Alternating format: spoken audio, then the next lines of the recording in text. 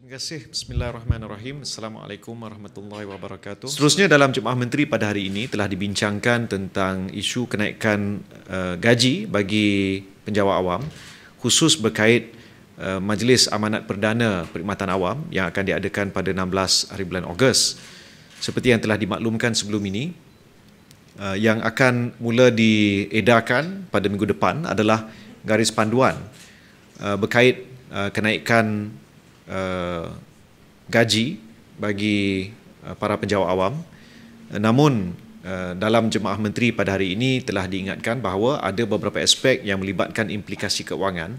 Kita perlu bawa ke bukan hanya ke jemaah menteri tapi juga dalam belanjawan 2025 yang akan dibentang pada 18 hari bulan Oktober nanti di parlimen.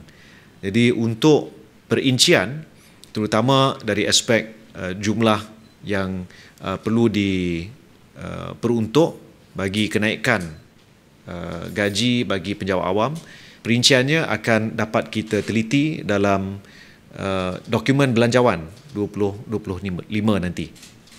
Jadi insyaAllah bermula minggu depan kita akan dapat uh, gambaran secara umum uh, peningkatan uh, pendapatan ataupun gaji bagi penjawat awam. Dan peningkatan ini Uh, bagi yang kumpulan pelaksana dijangka uh, paling tinggi manakala bagi uh, kumpulan KSU dan uh, ketua pengarah Jabatan Penerangan peningkatannya mungkin lebih sederhana ya.